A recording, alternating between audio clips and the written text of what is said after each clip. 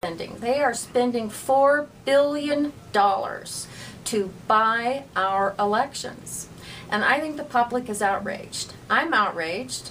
I like to watch television occasionally. It's going to start to be a time when you can't even turn it on because so much money will be in New Mexico uh, capturing the airwaves and sending messages. You don't know where the money came from. There's no need to um, say who your donors are. You can have a CEO of a major corporation being the only one making the decisions.